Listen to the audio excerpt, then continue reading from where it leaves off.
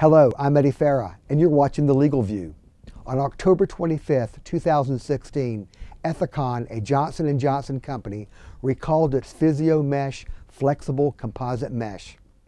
This PhysioMesh is a flexible mesh used for hernia repairs in which the abdominal wall is reinforced, preventing the hernia from reopening. Ethicon recalled the product based on data that found that the mesh was found to break down in structure, causing the layers of mesh to separate.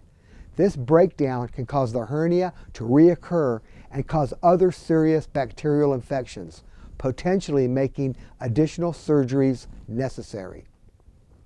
Some of the symptoms of PhysioMesh failure include problems with bacterial infections, internal organ damage, chills, fever, swelling at the site of the surgery, fluid filled abscesses in the abdomen, and perforation of blood vessels.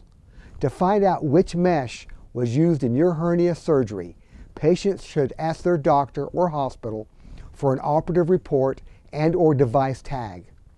If you've suffered complications after hernia surgery using PhysioMesh, contact Farah and Farah. Thank you for watching The Legal View.